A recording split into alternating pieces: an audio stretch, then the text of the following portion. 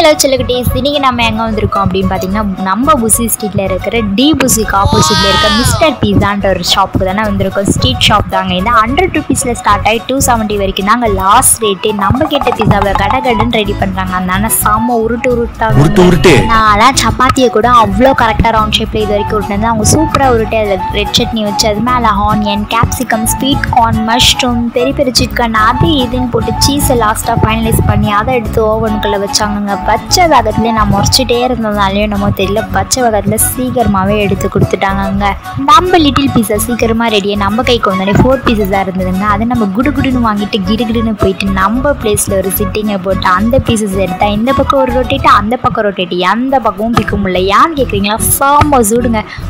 Again எடுத்த இடத்துல வச்சுட்டு உங்களுக்காக ஒரு லிட்டில் ஹார்ட் அதில் வரைஞ்சிட்டு திருப்பியும் எடுத்து ஒரே ஒரு பைட் தாங்க வச்சு லைட்டாக ஜெல்லி காய்ச்சி யார் பார்க்காதீங்க. வரட்டா வந்துட்டு